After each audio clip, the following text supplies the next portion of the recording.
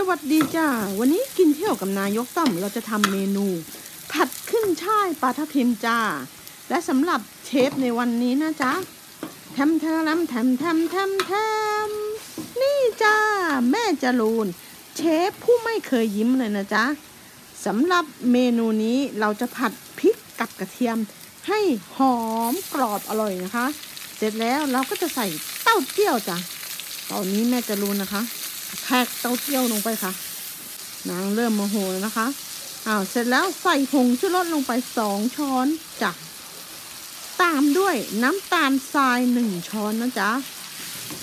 อ้าวเสร็จแล้วผัดกันต่อเลยจ้า ผัดให้เครื่องปรุงนะจ๊ะเข้าที่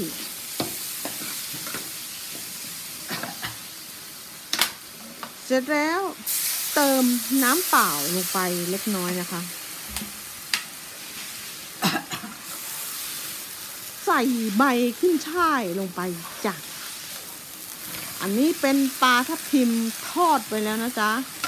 สูตรนี้เนี่ยเป็นสูตรที่ไม่เคยเปิดเผยที่ใดมาก่อนเลยสำหรับแม่จะรู้นะจ๊ะปลาทับทิมเนี่ย เรานำปลาทับทิมไปทอดให้กรอบก่อน เสร็จแล้วค่อยมาผัดกับเครื่องนะคะ ปลาทับทิมก็จะมีความกรอบนอกนุ่มในนะคะอ่าแม่จะรู้ก็กำลังผัดให้เครื่องคลุกเคล้าให้น้ำเนี่ยนะคะ มันเข้าไปในเนื้อปลาอ่าเรามาถ่ายแม่จะดูกันก่อนนะจ๊ะคลิปนี้เป็นคลิปแรกเลยนะคะ ที่เปิดเผยหน้าตานะคะนี่เพราะว่านางอะเป็นเชฟอินดี้มากนะคะ ไม่ค่อยให้ใครถ่ายค่ะ เสร็จแล้วใส่ซอสหอยนางรมลงไปนะจ๊ะ ก็กะเอานะคะ พอประมาณ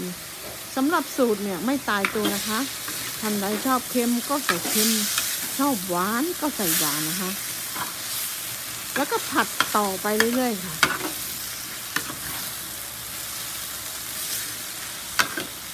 ตอนนี้นะคะกลิ่นหอมน่าทานมาก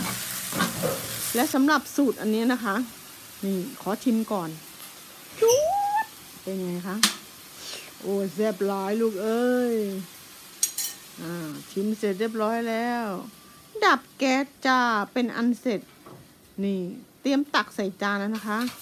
ขอบอกว่าแม่จรูนเนี่ย ไม่เคยเปิดเผยสูตร และตัวตนหน้าตาในการทำอาหารที่ไหนเลยนะคะ นี่ น่าทานไหมจ้าทุกคน แล้วก็ขอบอกว่าสูตรเนี้ยอร่อยมากจ้า